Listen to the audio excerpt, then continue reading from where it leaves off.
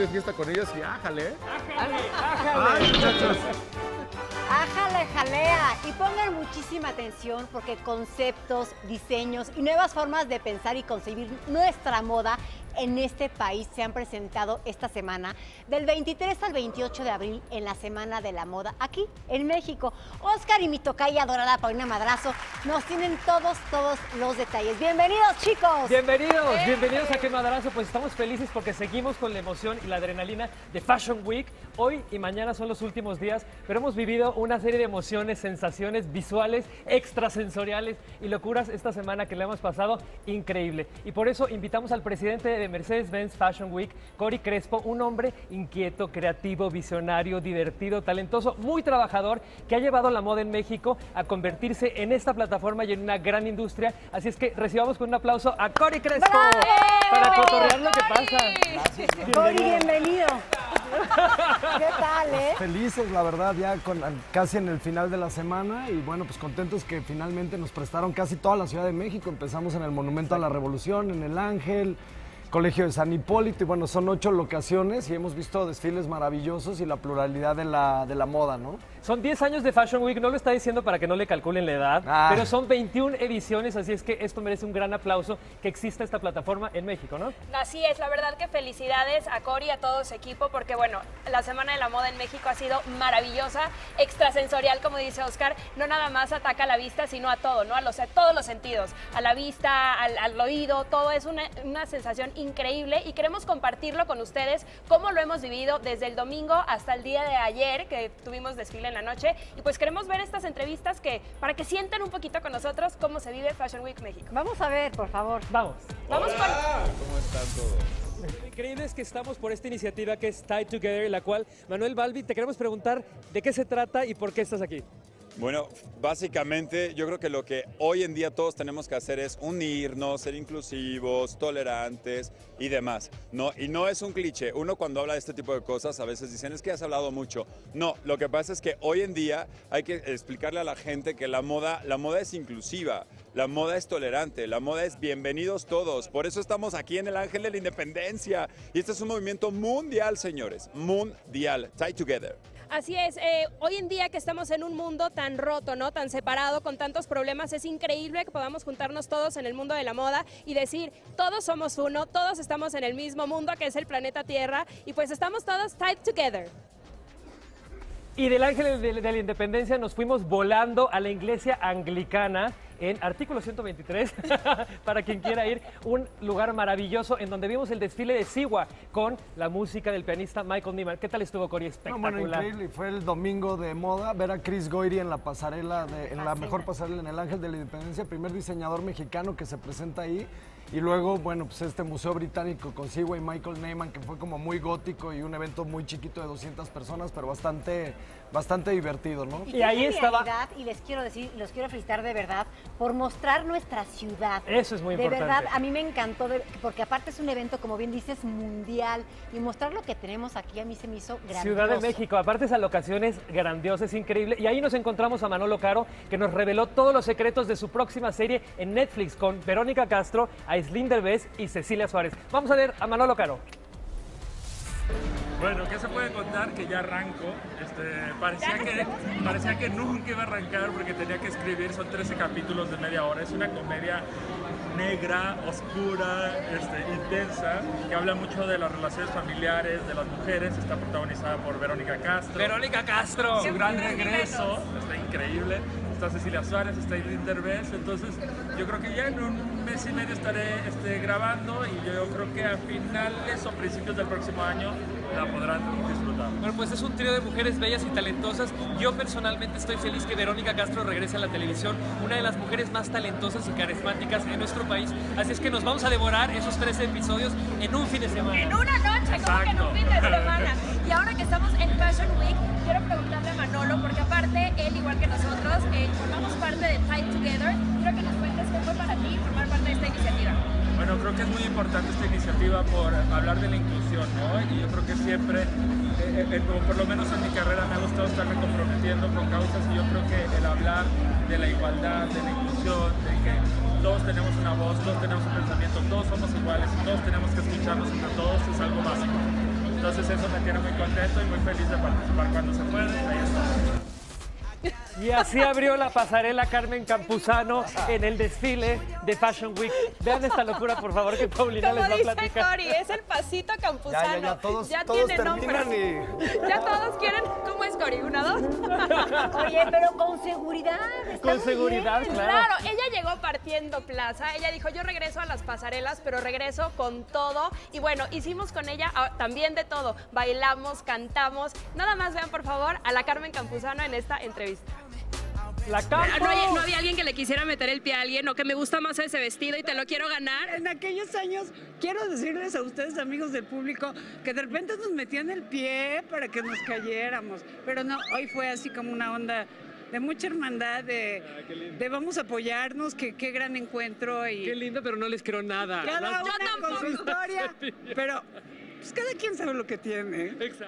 Porque no quisiste nada de lo que ofrecían mis sueños. ¡Ah, vámonos! ¡Vámonos de fiesta! Me encanta, eso sí no me la sabía, ¿eh? De lo que ofrecían mis sueños. Amo a Carmen preciosa. Campuzano, Y se soy ve fan. preciosa, y se ve ¿eh? preciosa. Divina. Bueno, aparte sigue muy flaca y modela de maravilla. Pero bueno, les platico que también estuvimos con Esteban Cortázar, el diseñador colombiano que vive en París, presente en París. Es el niño prodigio de la moda, un gran orgullo latinoamericano. Él empezó a los 17 años, es una gran inspiración para todos aquellos que creen que los sueños no se van a cumplir. Vamos a ver a Esteban Cortázar. Ya estamos en Qué Madrazo con Esteban Cortázar. Estamos realmente felices y honrados de tener a uno de los mejores diseñadores latinos en México en este Fashion Week.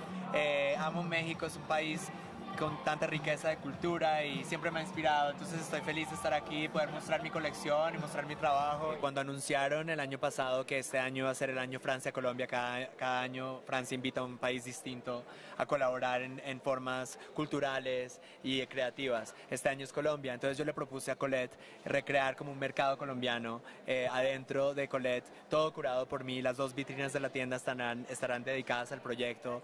Eh, vamos a tener cerveza ¡Qué colombiana, rico! jugos colombianos, eh, vamos a tener música, vamos a tener libros. Aguardiente, por favor, Aguardiente, eh, diseñadores. Vallenato, ya queremos ir a vallenato. bailar y echar fiesta Aparte a les quiero decir, bueno, puedo dar la primicia que J Balvin va a estar en este movimiento acompañando a Esteban Sí, viene J Balvin que lo amo, es un, es un amigo, es un, es un parcero, como decimos. Es una cosa como muy digital, muy de ahora, muy millennial, muy... Quiero que me cuentes de esa colección porque me Gracias. fascinó. Esta colección es como gitana punk, o sea, hay, hay un, es un caleidoscopio de ideas, de referencias, de Wow. conversaciones entre mi equipo, con amigos, de viajes que he hecho, cosas que, que- que he traído de y todas mezcladas en una colección. Esa es como la idea, era como, como una mujer gypsy que también es punk, segura de sí misma, atrevida, eh, muy brave y, y eso es lo que mostré. Y siempre una de nuestras consentidas es Claudia Álvarez, que la vimos en... San Hipólito. Eso, vamos a verla. Guapísima. Qué guapa. aparte, moda y rock and roll. Uh, uh, uh. Nuestra civilización. Bueno, pues autos, moda y rock and roll, porque hoy vamos a hablar de moda con Claudia Álvarez. Es una de nuestras íconos de moda favoritos. Y no nada más porque le pongan el vestido, no, porque ella pone los vestidos, porque tiene Clio Studio, que es un showroom maravilloso con unas marcas increíbles de moda. Así es que bueno, nos va a platicar de Clio Studio y qué hace en Fashion Week. Bueno, primero, qué gusto estar con ustedes, en verdad, feliz de poder compartir contigo su espacio. Y estoy muy contenta, llevo tres años con mi showroom, manejo diseñadores mexicanos y extranjeros. Estoy aquí porque manejo a Vero Díaz, a Benito Santos, a muchos diseñadores mexicanos que se presentan en esta semana. Y también traigo a Maya Hansen, este, diseñadora española, que le diseña... No, bueno, de Le- lujo. Le diseña a Lady Gaga, le diseña a Laura Pausini, le diseña a muchos. Dime, por favor, ¿cómo surge la idea de poner un showroom con todos estos diseñadores maravillosos? Primero porque dije, necesito un lugar en México donde pueda encontrar prendas exclusivas, que vaya a una boda y que tenga la seguridad que nadie va a traer mi vestido. tener un closet gigante. Y bueno, yo quiero decir que no nada más la ropa, sino también el amor. ¡Ay, le brillan los ojos! Bien. Te digo una cosa, totalmente de acuerdo. Cuando uno es feliz en su vida, Es en el amor, en el trabajo, con tu familia, con tus amigos, lo reflejas.